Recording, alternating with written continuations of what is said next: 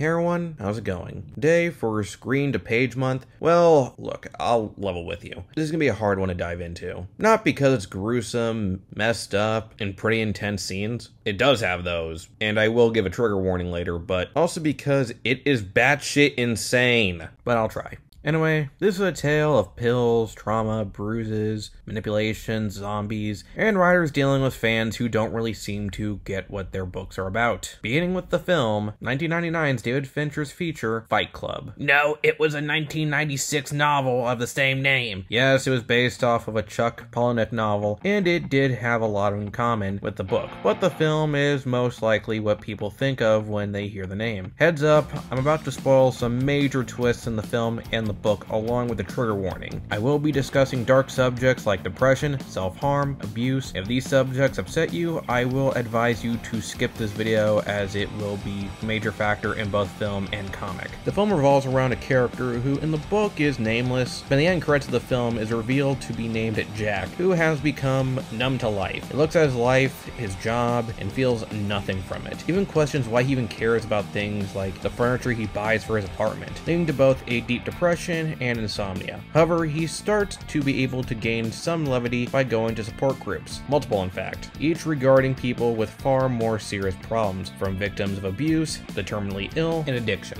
Yet turns out he got levity from others' emotional vulnerability. Not to feel good about himself, but to feel something. He even admits when he's on a plane, he wishes it to crash since it would at least be exciting. But things begin to change as he meets both Marla, a woman like him also attends these group meetings despite not suffering any of the afflictions, and Tyler Durden, a man who is the narrator's opposite, but also who he aspires to be. He seems to take multiple jobs, but doesn't really care about them, often performing actions just to screw with people, to give a middle finger to consumer culture and just society in general. Tyler explains to the narrator how this way of life has stripped men of their dignity and basic rights. This worldview attracts the narrator and leads to an unlikely friendship, and would even find others who share this worldview, starting an underground fight club, where they can punch their frustrations out. At first, the narrator saw Fight Club as a way to let out that frustration, but as the club grows, Tyler's ambitions grows as well, leading to the club to become more like a cult, who worships Tyler like a god, and even performing criminal acts for him. The narrator would try to stop him,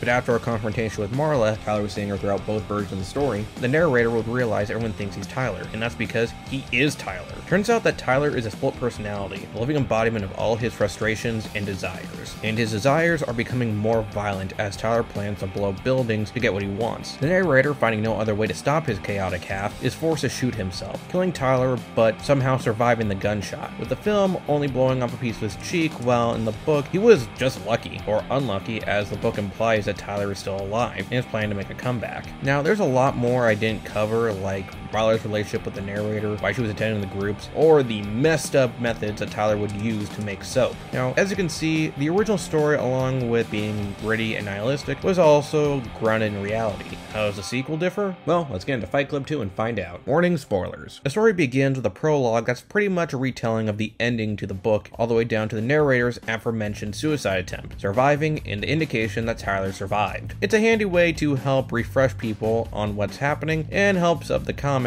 is not just going to be a sequel to the movie, but also a sequel to the book. But the biggest takeaway is revealed that Marla is pregnant. Jump to 10 years later, and the narrator, now going by the name Sebastian, is lying low, taking medication to suppress his other half. However, it's not an easy life as members of the club are still keeping an eye on him, though usually just giving him special treatment in hopes that Tyler would return. When he gets home, we see his son, Junior, is in timeout by the babysitter for making homemade gunpowder. He learned it from watching you. Meanwhile, Marla's going to support group again, though less convincing as this group is for kids with progeria. So class act, Marla. Pretty much she uses the group to vent out her frustrations with her marriage with Sebastian. She thought she could help fix him, but now is at the point where all she's done is make him dependent on pills and leaving herself unsatisfied in missing Tyler, or at least the crazy sex they used to have, and by this point wishes she never met him. Unfortunately, Sebastian hears that and ends up going to a bar where he, the new narrator, revealed later to be Tyler, tells us how he started to have a nervous breakdown as he begins to remember why him and Tyler started Fight Club, not knowing that Marla is back home, tampering with his pills in hopes of getting Tyler back for a night of insane sex. And he does, and much worse. Tyler immediately gets to work, starting with a little chit chat with Sebastian to say goodbye to him, like he did his father. More on that in a bit. And causes a fire that destroys his home and supposedly killed their son. As the two grieve, we flash back to Sebastian's childhood, revealing that both his parents died in a fire, and during his father's funeral, he's met by a familiar looking boy. After grieving, they would talk to the local fire marshal, who reveals the body they found in the fire wasn't their son, but a grad student that disappeared some time ago. It's clear Tyler's men were behind it, and it was established in both the book and the film that Fight Club did have men in law enforcement working under them, but why'd they think a grad student would pass for a child? Anyway, Marla confesses to her messing with Sebastian's meds and reveals one of the kids in the support group is a hacker. No, really. And discovers the club might know where their son is. After Marla smashes his face in to look convincing, Sebastian heads to Fight Club to infiltrate it. Though, once entering, Tyler reveals his next big plan is in motion, as he's been manipulating college students to join, and even the babysitter in the beginning was in on it. Meanwhile, we also get the return of Robert Paulson,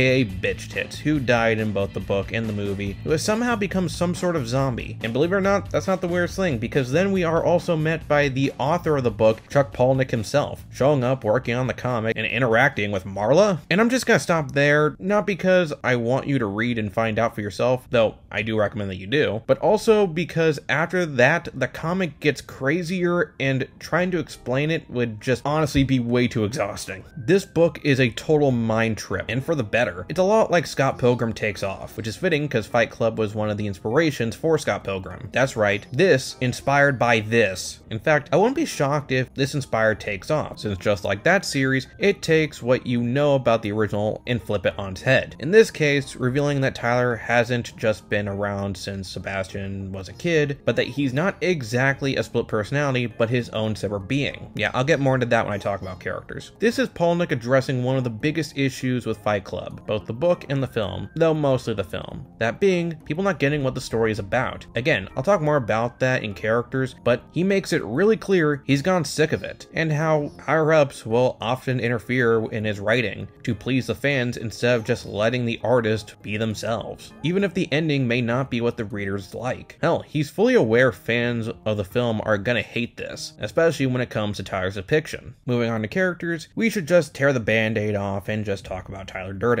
The nihilistic, charismatic cult leader of Fight Club, Tyler is more like as he was in the book. While Tyler in the film was all those things, he was also more. Tyler in the book had a god complex and a master manipulator, talking about how the world he wanted to build is less of a world where everyone has a clean slate and start over again. It's more of him making his own kingdom, where he promises his followers will live and be treated like gods. He's also more of a representation of toxic masculinity, which was a major theme in the book, as he convinces his followers that society has emasculated them. Yeah, kinda hard to avoid not doing that given our society. He also has a far more omnipresent aura to him, as even when he's not in the room, you feel like he still is that he's something even bigger than just a mental illness. In fact, near the end of the comic, it's revealed that Tyler isn't just a split personality, but a psychic parasite. I'm not kidding, that is real. He's apparently some sort of creature that's been passing through Sebastian's family for generations. So his worldview isn't just from negative emotions coming from Sebastian, but whole generations worth. As you can guess, this reveal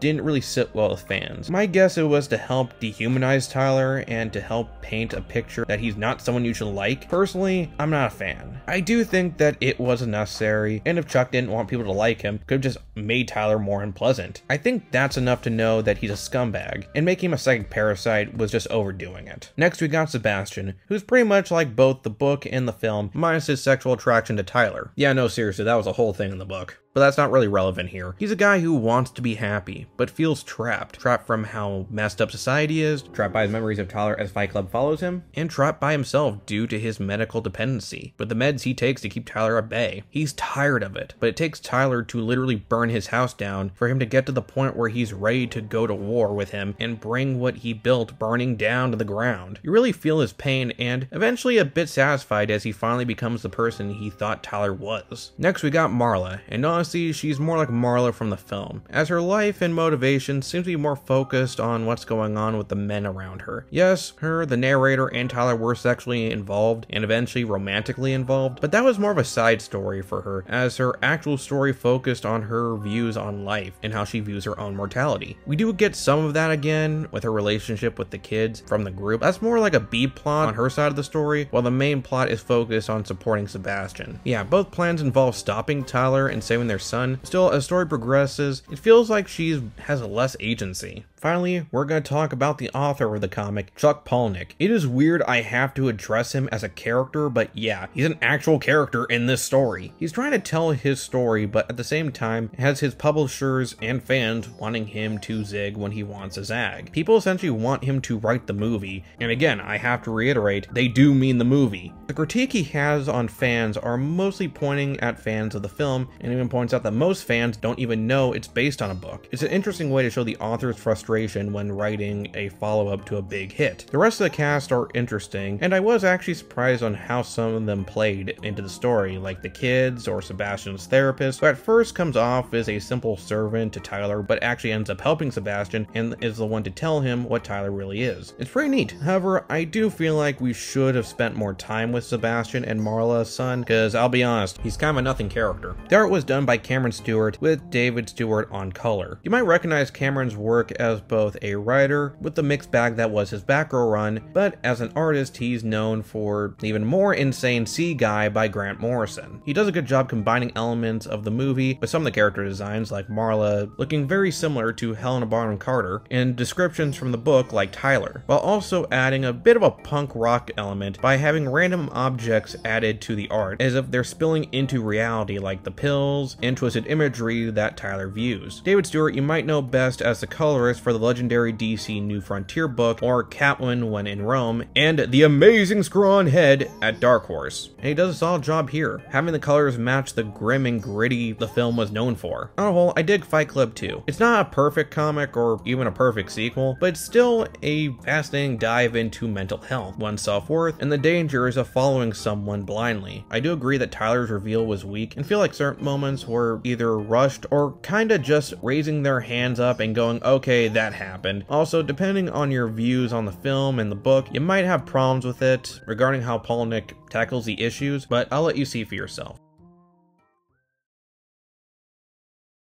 Thanks for watching. Like, share, subscribe, and hit the notification bell for updates. I'll level with you guys. I need a break. I'll probably take the day off, relax, play some Final Fantasy VII Rebirth. Well, if Ash stops hogging the game. Fuck off, I'm trying to play the Gold Saucer mission. yeah, I need a break. Later.